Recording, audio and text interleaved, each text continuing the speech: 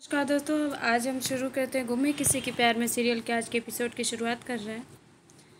तो शुरुआत करने से पहले हम आपको बता दें कि यदि आप चैनल पर नए हैं तो सब्सक्राइब लाइक और शेयर ज़रूर कर दीजिएगा। पूरा देखने के बाद, कहानी सुनने के बाद आपको जैसा लगे तो कमेंट भी कर दीजिएगा। तो आइए शुरू करते हैं गुमे किसी के प्यार में के सीरियल के आज के एपिसोड की।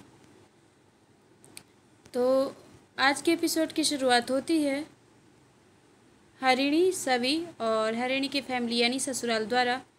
तो शुरू करने से पहले हम थोड़ा सा पीछे की ओर मुड़ जाते हैं, मोड़ लेते हैं जैसा कि आपको पता है कि आज की कहानी यदि आपको जाननी है तो थोड़ा सा पीछे जान, जानेंगे हम। तभी समझ में आएगा कि आज की कहानी क्या है। पूरा विस्तार रूप से आप समझ पाएँगे। तो बस थोड़ा सा चर्चा करेंगे पीछे की कहानी का। तो जैसा कि आप जानते हैं कि कल के एपिसोड में ये हुआ था कि सभी ने ये बताया, हरिणी के ससुराल वालों को, कि उन्होंने पूछा, तुम्हारा इंटरव्यू हो गया, क्या हुआ, क्या नहीं? तो जानते हैं, आप किस इरादे से पूछ रहे हैं तो इसे उस इरादे के बारे में भी चर्चा करेंगे। अभी हम बता दें कि जो सभी हैं, वो बोलती हैं कि, जी हाँ हमारा इंटरव्यू तो हो गया, लेकिन एडमिशन अभी नहीं हुआ है। तो इंटरव्यू हो गया, उसमें इतने सारे इतना मांगे हुई है मतलब कि पुराने डॉक्यूमेंट्स चाहिए उन लोग को और पैसे भी चाहिए।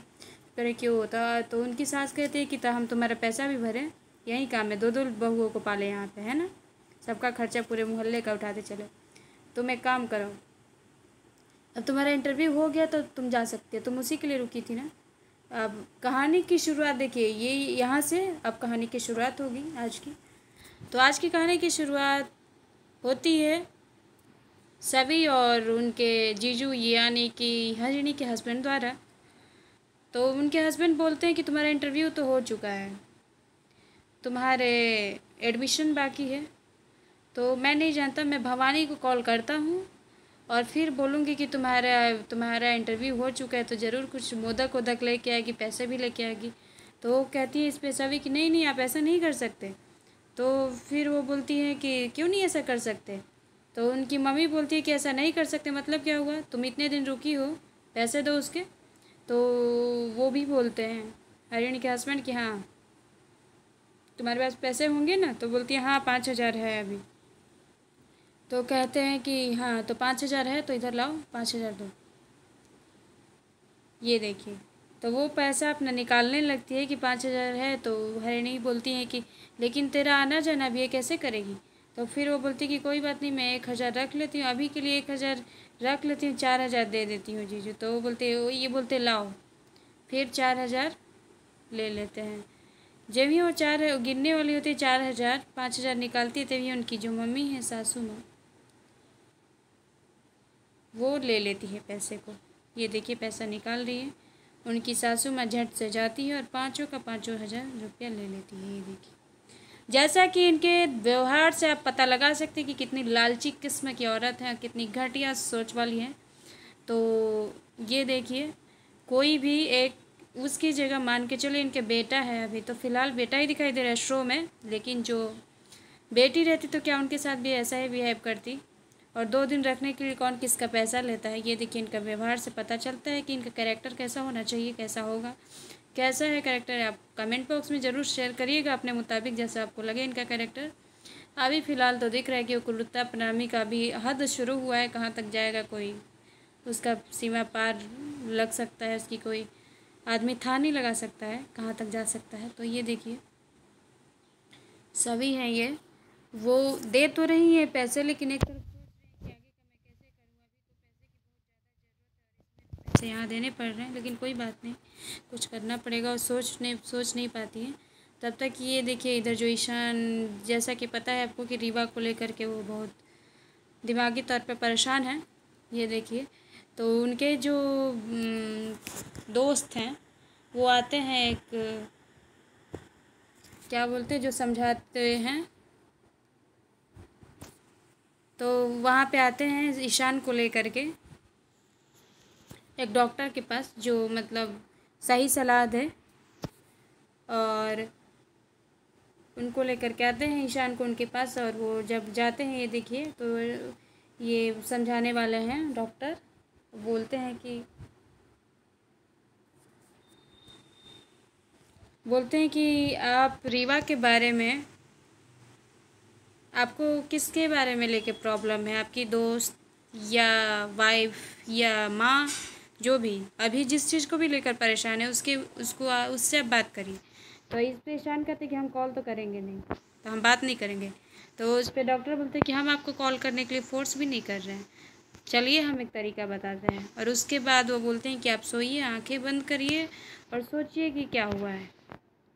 और ईशान ये सब सोचते हैं कि क्या हुआ है तब तक उनको वो सोचते सोचते उनको आता है कि बोलते हैं कि, रीवा, तुम मुझे छोड़ कर क्यों गई है वगैरह वगैरह? तो फिर बोलती हैं, रीवा कि, मैं अपने करियर करियर और क्या बोलते हैं, करियर और लाइफ के बीच में मैंने करियर को चूज़ किया है और शादी के बीच में, तुम्हारे और करियर के बीच में मैंने करियर को चूज़ किया है।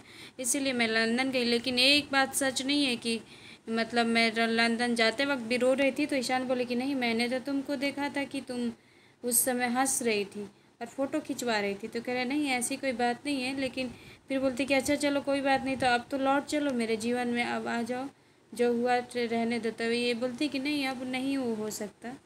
और एक महीने के प्यार में क्या ही ऐसा है कि आदमी समझ पाए। तो कह, ये कहते कि, क्यों नहीं, प्यार तो बहुत बड़ी चीज़ होती है, एक महीना बहुत दिन होता है, हर किसी को कोई ना कोई समझ जाता है कुछ ना कुछ। तो ऐसे कैसे बात कर रही हो तुम? तो फिर वो बोलते हैं कि, तुम आ जाओ तो वो बोलती है, नहीं, मैं नहीं आ सकती, छोड़ो मुझे ईशान। और वो बोलते हुए पानी में ढकेल देती है, उनको समझ में नहीं आता है कि वो पानी में ढकेली और वहाँ से निकल जाती हैं। वो डूबते रह जाते हैं, लेकिन वो वहाँ से निकल जाती हैं, तब तक इनका यहाँ से आँख खुलता है और वो परेशान हो जाते हैं, चूँकि एक हॉस्पिटल में है वो। और ये देखिए डॉक्टर, फिर वो जाने लगते हैं तो उनके दोस्त बोलते हैं, क्या हुआ डॉक्टर साहब? फिर बोलते हैं, उनको कुछ याद आया। ये देखिए। फिर वो अपने ईशान दोस्त के साथ निकल जाते हैं और इधर सभी सभी आँसू बहा रही होती है, रो रही होती है, सोच कर कि मेरे रास्ते, मेरी मंजिल इतने मतलब अभी पास में आ गया है, लेकिन मेरी उलझने यानी मुसीबतें समाप्त होने का नाम ही नहीं ले नहीं ले रही है। हर जगह कोई ना कोई मुसीबत आ जा रही है। मैं कैसे, क्या करूँ? मुझे समझ में नहीं आ रहा फिर वो सोचती हैं कि कैसे ये, ईशान के ताऊ जी बोलते हैं कि तुम, तुम्हारा कल ग्यारह बजे आ जाना, कल इंटरव्यू में पास हो जाओगी। यदि नहीं आई तो फिर वो ईशान बोलते हैं कि हाँ आ जाना। और दूसरी बात ये है कि आना तो है ही, लेकिन तुमको कल पैसे भी लाना है और पिछले जो डॉक्यूमेंट्स है वो भी लाना है। यदि नहीं ला पाई तो यहाँ से निकल जाना दूरी से। सब सोचती हैं ये सभी अब फिर रोने लग जाती है। तब तक उनकी बहन आती है, बोलती है, क्या हुआ? तो अभी तक जगी है, सोई नहीं? क्या हुआ? क्यों परेशान है? फिर वो गले लग के रोने लगती है। बोली कि, दीदी, अब मुसीबत कम होने का नाम ही नहीं ले मैं कैसे पैसे दूँगी? क्या करूँगी? मुझे कुछ समझ में नहीं आ रहा क्या करूँ? और लेकिन मैं अब यहाँ तक आई हूँ तो खाली हाथ फिर घर नहीं लौटना चाहती। तो वो कहते हैं कि तू पागल है, इतना दूर तक आई है, इतनी हिम्मत रखती है तू, इतनी काबिलियत है तुझ में, और कुछ चीज़ों के लिए तू छोड़ के फिर वहाँ जाना चाहती है, जहाँ से लौट के, जहाँ कुछ है ही नहीं। तो कोई बात नहीं, तू सुन, एक काम कर। वो कह रही कि मेरे पास तुझे देने के लिए पैसे तो नहीं है, लेकिन एक बात बताऊँ कि ये कंगन ले जा। वो कंगन निकाल के देती है उनको। कहती है कि नहीं नहीं दीदी, ऐसे नहीं ताई। तुम तुम तेरा कंगन में नहीं ले सकती। नहीं, छोड़ दे। उसके बाद बोलती, अरे पगली, तू बहन है मेरी ना। तो जाए अब आई बनेगी तो सोच लेना। फिर बोलते हाँ मैं अपने डायरी में नोट कर लेती हूँ आई बनूँगी तो वो करूँगी। तो फिर वो बोलती हैं कि तो पगलेट है क्या पूरी? कैसे आई बनेगी तो इसका पैसा चुकाएगी? ऐसे सोच कैसे सकती है तू कि मैं तुझसे पैसा मांगने के लिए बोल रही हूँ? और फिर देखिए, दोनों बहनों में काफ़ी प्यार है, जो कि एक सभी के लिए हिम्मत का काम करता है। उनकी मैम के बाद ये देखिए। और इससे काफ़ी प्रेरित होती हैं अपनी ताई से। वो एक ताई हैं और एक आजी जो उनके पास अभी है नहीं, लेकिन ताई हैं यहाँ पे, जो उनको प्रोटेक्ट करती हुई दिखाई दे रही हैं। और अच्छी बात है, एक रास्ते में उलझने बहुत होती है, लेकिन एक कोई प्रोटेक्टिव इंसान है जो प्रोटेक्ट करे तो उससे थोड़ा हिम्मत ज़्यादा मिल जाता है और हिम्मत फिर टूटता नहीं है, बल्कि जुड़ जाता है और कई तो हिम्मत मिल एक अच्छे से हौसला रखने का ताकत रखता है। ये देखिए प्रोटेक्शन और उसके बाद ये ईशान आते हैं तो उनकी जैसे ताई जी हैं। यानी शांतनु की भाभी। वो बोलती हैं, क्या हुआ? क्या हुआ ईशान को? फिर तो वो बोलते हैं कि, पता नहीं, थोड़ी देर में ठीक हो जाएगा। आप लोग उसको छेड़िए मत, एकांत में रहने दीजिए। मैं यहीं आपसे विनती करता हूँ। उसको थोड़ा एकांत की ज़रूरत है। अभी कुछ पूछिएगा मत उससे। और बहुत जल, ज़रूरी है एकांत। और मैं अभी, मेरे बहुत काम है तो मैं अभी निकलता हूँ। फिर वो रीवा को बताते हैं कि रीवा को लेके थोड़ा सा परेशान दिखाई दे रहा है। इधर ये देखिए लंदन में रीवा के पापा मम्मी बात करते हैं तो फिर उनकी मम्मी बोलती है, तुम किस टेंशन में हो? अब तो रीवा का इंटरव्यू हो चुका है और उसमें इंटर, इंट्रेंस भी पास कर चुकी है, एडमिशन मिल चुका है। तो अब तुम क्यों परेशान हो रहे हो? तब तक वो समझा ही रही होती है, तब तक उनके पास कॉल आती है। इनकी, ईशान के ताऊ जी की। तो बोलते हैं कि उठाओ मत, उठाना मत इसका कॉल लेकिन वो उठा लेते हैं और उनको डांटते हुए बोलते हैं कि अपनी बेटी को समझाओ, अब तुम्हारी बेटी की वजह से मैंने बहुत कुछ झेला। बीच मंडप में छोड़ के भाग गई। सब सारे लोगों के समाज के बीच में एडजस्ट करना मेहनत का काम था, मैंने किया। अब मेरे बेटे को उससे कोई तकलीफ़ होगी तो मैं छोड़ूँगा नहीं उसे। और उसके बाद ये देखिए इनकी छिछोरी हरकतें यानी कि हरिणी के हस्बैंड सभी के जीजू। वह हरिणी को आते हुए देखते हैं कमरे में और बोलते हैं कि तू इतने दिन से घर में थी। क्या सारा काम हो चुका है ना?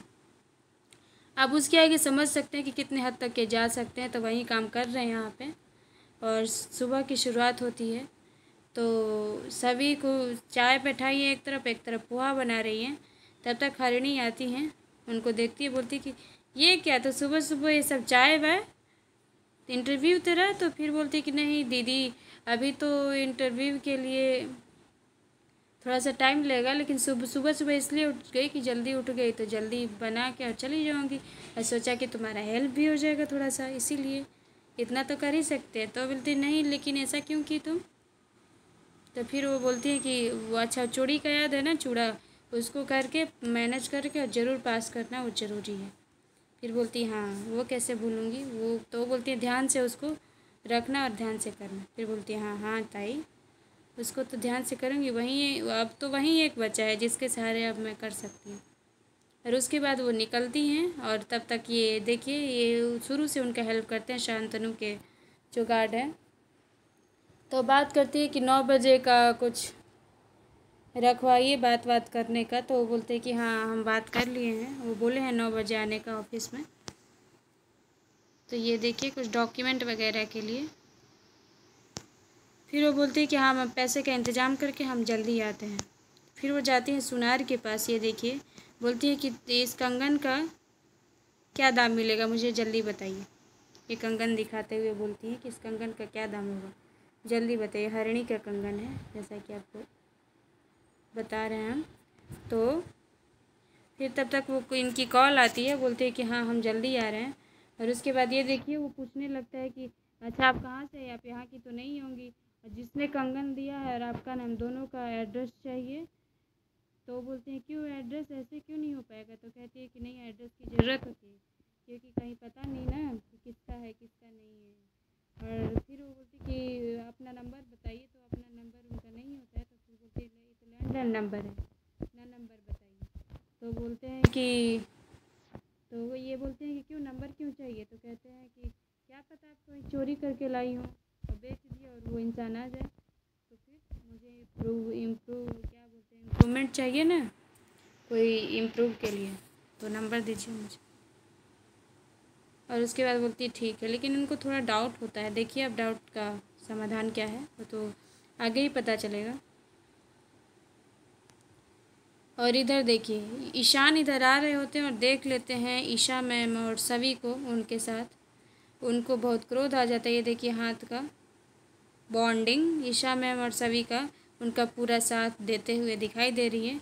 और इस चीज़ को देख करके वो ईशान सभी को बोलते हैं कि जिस औरत का तुमने हाथ पकड़ा है ना, वो औरत मुझे बचपन में ही अपना हाथ छुड़ा के चली गई थी तो तुम्हारा कुछ नहीं कर सकते। दूसरा है कि जब तक तुम तो इसका तुम्हारा ये हाथ पकड़ी रहेगी, तुम्हारा इस कॉलेज में कुछ एडमिशन नहीं होगा। और वो पेपर लेते हैं, वो एडमिशन कर फाड़ देते हैं। यानी कि लास्ट जो ज़रिया है सभी के लिए लास्ट जो रास्ता है जिसका मुसीबत अभी टलने ही वाला था और उनका एडमिशन होने वाला था, वो भी हाथ से निकल गया।